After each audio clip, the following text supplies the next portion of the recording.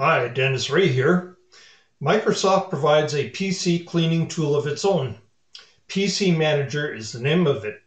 Here's how to use PC Manager and where to get it.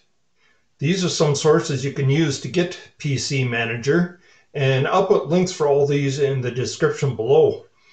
Uh, the first one is PC Manager's website at Microsoft.com.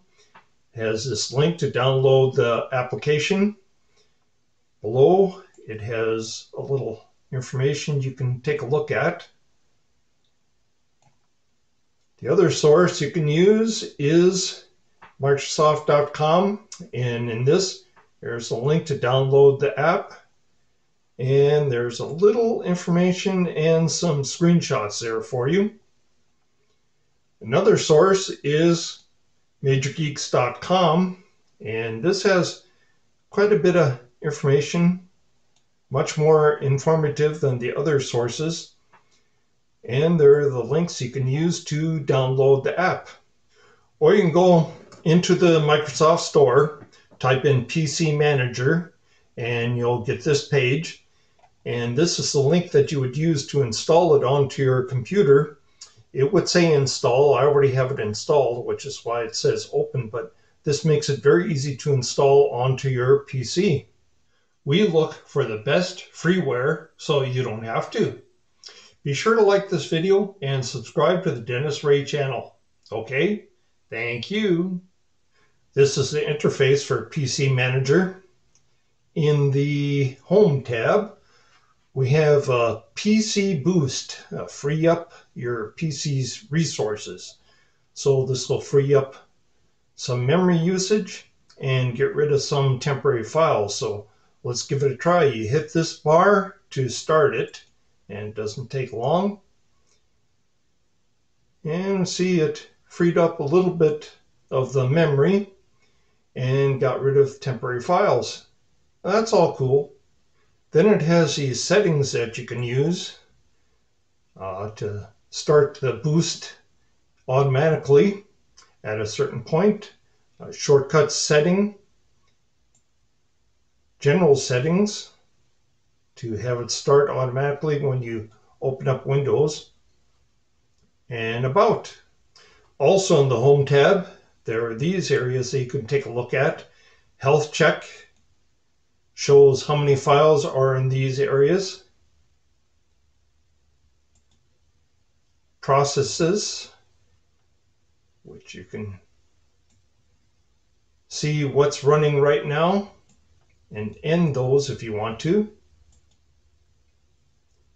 Deep cleaning, where you can select what you want to have cleaned out and then hit that to go ahead and clean those. You do a much better job than the boost does.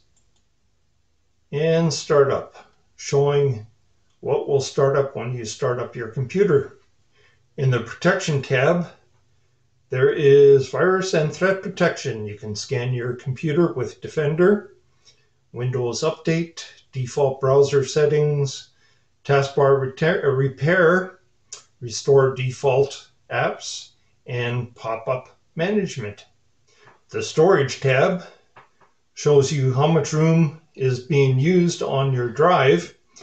Deep cleaning, you can hit this and it will deep clean just like we saw before downloaded files that are in your download folder. Large files showing you the size of files that you have on your computer. And uh, the scanning doesn't take long and is good for your information. Duplicate files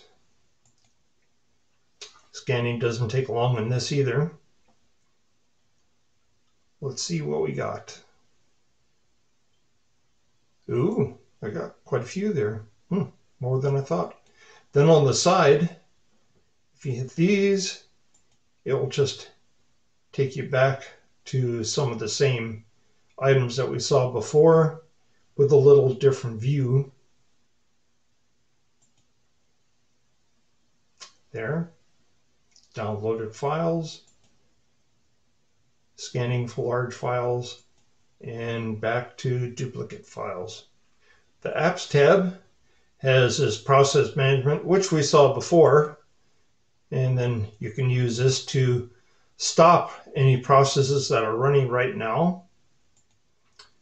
Startup apps, which we saw before, and you can use this to turn those off and on. Uninstall apps. You can use this to uninstall any programs or applications on your computer. And uh, actually, there are better programs that will do this for you, and I'll put links for those in the description below. And then there's a link that will take you to the Microsoft Store. Toolbox has these links to these various programs. And you can add links too if you'd like. And there's also a link to the MSN.com site. Restore. Well, this doesn't have a whole lot to it. You're all set. Your PC is using recommended settings to be secure, fast, and efficient. Cool. Settings, which we saw before in the boost settings. Exact same thing. And feedback.